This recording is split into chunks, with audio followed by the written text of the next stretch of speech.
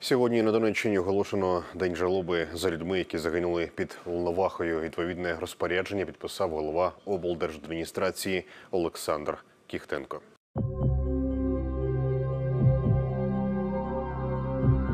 Вчора близько 14.30 бойовики обстріляли блокпост військових. Один зі снарядів впав поблизу рейсового автобуса із людьми. Транспортний засіб та пасажирів буквально зрешетило осколками. Десятеро людей загинули на місці, у тому числі 14-річна дитина. Ще троє згодом померли у лікарнях. Служба безпеки України кваліфікувала трагедію як теракт, котрий призвів до загибелі людей.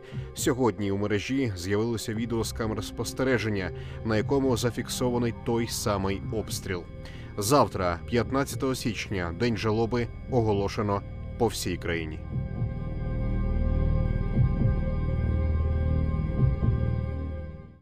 Президент Петро Порошенко порівняв трагедію під Волновахою із терактом у Парижі, де бойовики розстріляли редакцію видання Шарлі Ебдо.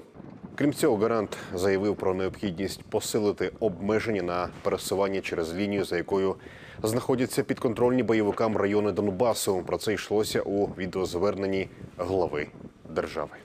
У зв'язку з терористичною атакою ми змушені ще більше посилити обмеження на пересування через лінію, за якою знаходяться підконтрольні бойовикам райони Донбасу. А зведення фортифікаційних споруд, які захищають від можливої контратаки з боку бойовиків, майже завершено. Однак я залишаюся прихильником мирного врегулювання на Донбасі в рамках мого мирного плану і мінських домовленостей. Робив, роблю і робитиму для цього все можливе і навіть неможливе.